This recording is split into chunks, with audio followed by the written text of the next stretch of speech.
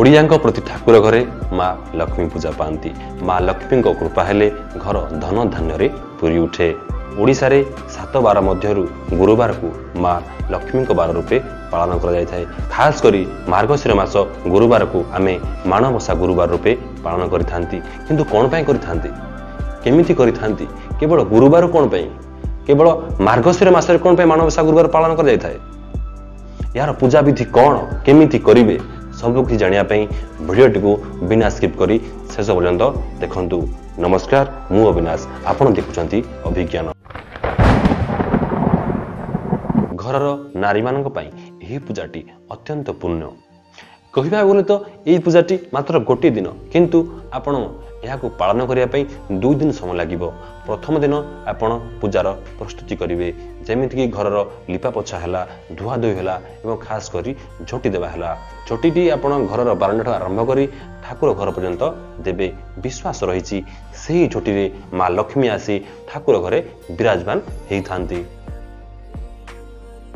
ମାଣବସା ଗୁରୁବାରରେ ଝୋଟି ଦେବା ଏକ ପାରମ୍ପରିକ ପ୍ରଥା। ଝୋଟି ଦେବା ପୂର୍ବରୁ ଆମେ ପ୍ରଥମେ ଘରକୁ ଗୋବର ପାଣିରେ ସଫା କରିବା।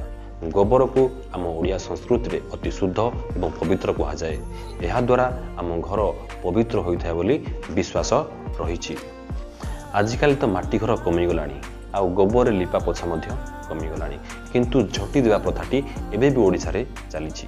ତ ଝୋଟି ତିଆରି କରିବେ କେମିତି? ଝୋଟି ଦେବାର ଗୋଟେ ଦିନ ପୂର୍ବରୁ ଆମେ ଶୁଦ୍ଧ ଅରୁଆ ଚାଉଳକୁ ନେଇ ପାଣିରେ ବତୁରାଇବା। ଆଉ ସେଇ ବତୁରା ଚାଉଳକୁ ନେଇ ଭଲସେ ବାଟି ଗ୍ରାଇଣ୍ଡରରେ ହେଉ ବା ଶିଳରେ ହେଉ ତାକୁ ପିଠଉ ତିଆରି କରିବା। ଆଉ ସେଇ ପିଠଉକୁ ନେଇ ଆମେ ଝୋଟି ତିଆରି କରିପାରିବା।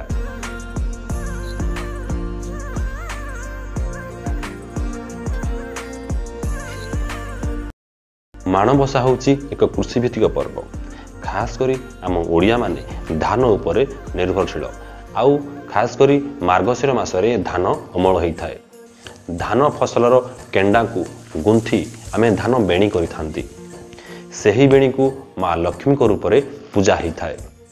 ମାଣରେ ଧାନ ମୁଗ ବିରି ଗୁଆ ରଖି ପୂଜା କରାଯାଉଥିବାରୁ ଖାସ୍ କରି ମାର୍ଗଶିର ମାସ ଗୁରୁବାରରେ କରାଯାଉଥିବାରୁ ଏହାକୁ ମାଣବସା ଗୁରୁବାର କୁହାଯାଏ। ମାଣବସା ଗୁରୁବାର ସମୟରେ ଖାସ୍ କରି ଓଡ଼ିଆମାନେ ନାରୀମାନେ ମା ଲକ୍ଷ୍ମୀଙ୍କର ଲକ୍ଷ୍ମୀ ପୁରାଣ ପଢ଼ିଥାନ୍ତି। ପୂଜା ସ୍ଥାନରେ ପିଠଉରେ କୋଠି କରି ଷୋହଳ ପାଖୁଡ଼ା ପଦ୍ମଫୁଲ ଅଙ୍କାଯାଏ। ପୂଜା ପାଇଁ ପୂର୍ବରୁ ଅମଳ ହୋଇଥିବା ଧଳା ଧାନ ମାଣ ଗୁଆ କଉଡ଼ି ନଡ଼ିଆ ଦୁବ ବରକୋଳି ପତ୍ର ସିନ୍ଦୁର ଧୂପ ଦୀପ ନୈବେଦ୍ୟ ପ୍ରସ୍ତୁତ ରଖାଯାଏ। ବିଧି ଅନୁସାରେ ଖଟିଲି ଉପରେ ମା ଲକ୍ଷ୍ମୀଙ୍କର କାଠରେ ନିର୍ମିତ ପ୍ରତିମା ପାନିଆ ଆଇନା କଜ୍ଜଳ ଖଟିଲି ପାଖରେ ଆଖୁ ଏବଂ ମୂଳା ରଖାଯାଇଥାଏ।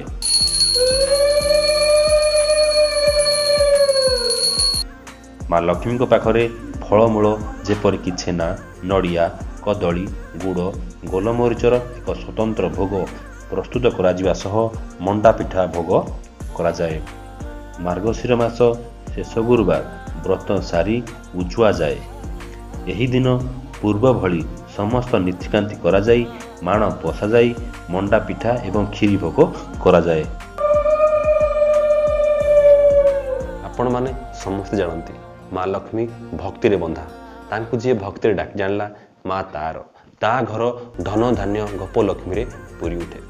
ଯେମିତିକି ଲକ୍ଷ୍ମୀ ପୁରାଣ ଅନୁସାରେ ମା ଶ୍ରୀୟା ଚଣ୍ଡାଳୀର ଭକ୍ତିରେ ପ୍ରୀତି ହୋଇ ତା ଭଙ୍ଗା କୁଡ଼ିଆକୁ ପଳେଇଥିଲେ। ଏଥିରେ ରାଗି ଯାଇ ବଡ଼ ଠାକୁର ବଳଭଦ୍ରଙ୍କ କଥାରେ ମହାପ୍ରଭୁ ଜଗନ୍ନାଥ ମା ଲକ୍ଷ୍ମୀଙ୍କୁ ବଡ଼ ଦେଳକୁ ଆସିବାକୁ ମନା କରିଥିଲେ।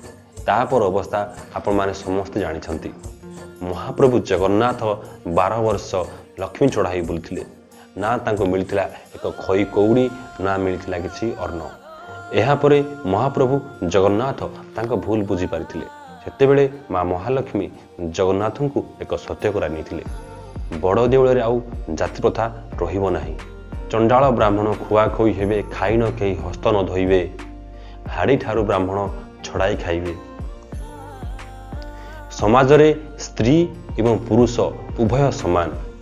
ସ୍ତ୍ରୀକୁ ସ୍ୱାମୀ ସବୁବେଳେ ସମଦୃଷ୍ଟିରେ ଦେଖିବା ଦରକାର ଏବଂ ତାର ସମ୍ମାନ କରିବା ଦରକାର। ଇଏ ଥିଲା ମାଣବସା ଗୁରୁବାରର ବୈଶିଷ୍ଟ୍ୟ ଆଉ ଇତିହାସ। ତ କେମିତି ଲାଗିଲା ଭିଡ଼ିଓଟି? ଯଦି ଭିଡ଼ିଓଟି ଭଲ ଲାଗିଥିବ ତ ଲାଇକ୍ କରିବେ।